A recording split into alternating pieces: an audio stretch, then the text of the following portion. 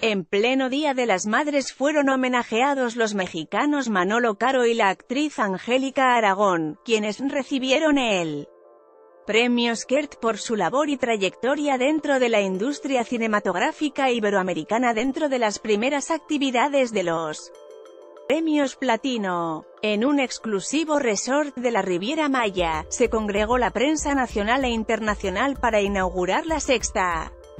Entrega de los galardones creados por la entidad de gestión de derechos de los productores audiovisuales, EGEDA, en colaboración con la Federación Iberoamericana de Productores Cinematográficos y Audiovisuales, FIPCA, que premia a lo mejor del cine. Fue la actriz Angélica Aragón la primera en agradecer el reconocimiento a su labor actoral. Yo nací dentro del cine, soy hija de un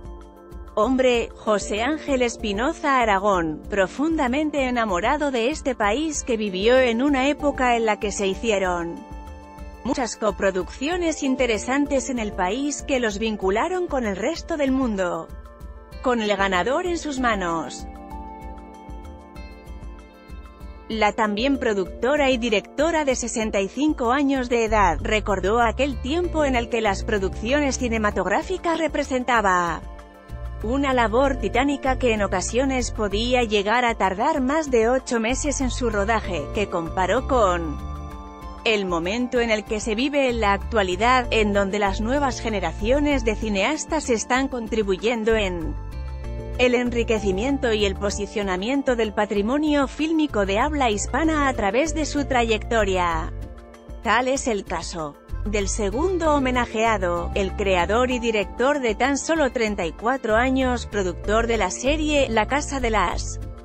Flores y de la cinta La vida inmoral de la pareja ideal, Manolo Caro, quien agradeció la estatuilla que se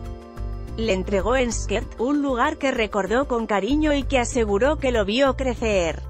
Gracias por lo del joven Manolo porque también cuando empiezan a llegar los reconocimientos hay una sensación de que también uno va creciendo.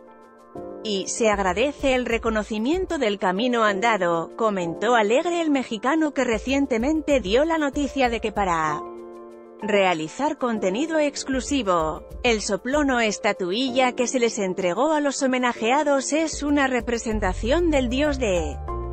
viento realizado por las manos de artesanas de la región de San Francisco, Ozomatlán en el estado de Guerrero.